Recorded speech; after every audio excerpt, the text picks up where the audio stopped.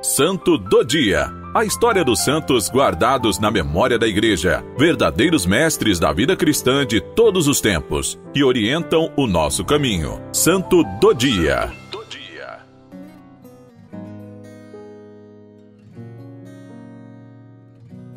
Louvado seja nosso Senhor Jesus Cristo, para sempre seja louvado.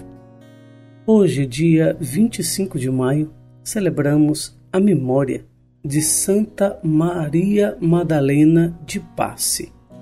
Batizada com o nome de Catarina, ela nasceu no dia 2 de abril de 1566, crescendo bela e inteligente em sua cidade natal, Florença, no norte da Itália.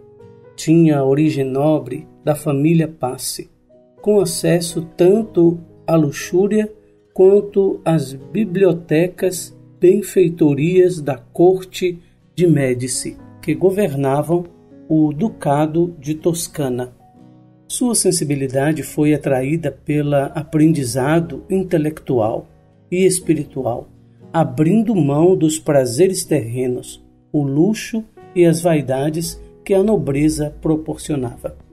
Recebeu a primeira comunhão aos dez anos e, contrariando o desejo dos pais, aos 16 anos, entregou-se à vida religiosa, ingressando no convento das Carmelitas Descalças.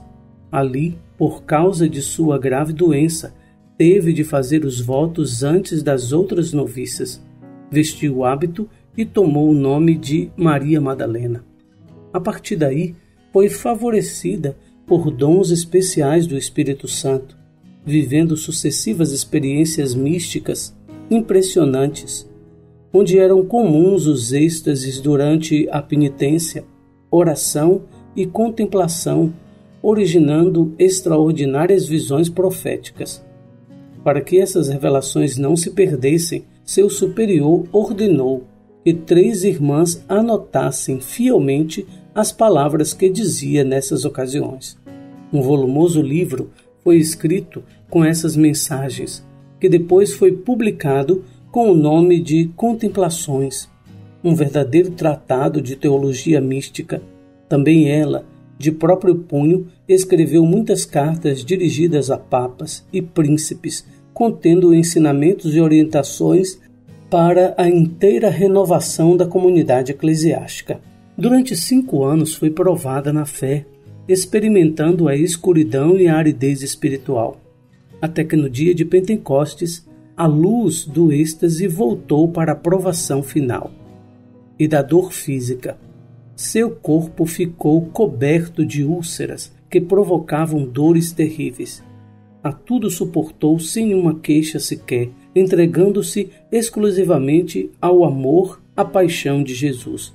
Morreu com apenas 41 anos, em 25 de maio de 1607, no convento Santa Maria dos Anjos, que hoje leva o seu nome, em Florença. Apenas dois anos mais tarde foi canonizada pelo Papa Clemente IX. O corpo incorrupto de Santa Maria Madalena de Passe repousa na igreja do convento onde faleceu. Sua festa é celebrada no dia do seu trânsito, no dia da sua Páscoa. É, nós podemos ver mesmo que o meio não determina aquilo que eu serei.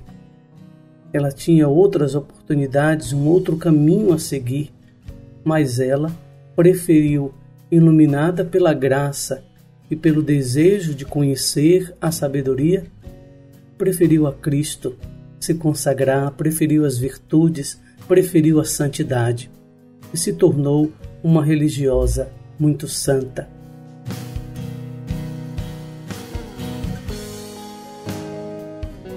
Então nós pedimos hoje ao Senhor e por intercessão de Santa Maria Madalena de Passe, não permita que enveredamos pelos caminhos do mal, do pecado e da perdição, mas sim nos abramos ao caminho da graça.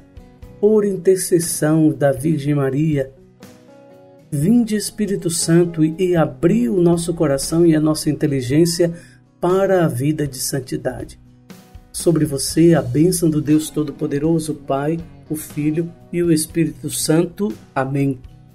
Santa Maria Madalena de Passe, rogai por nós.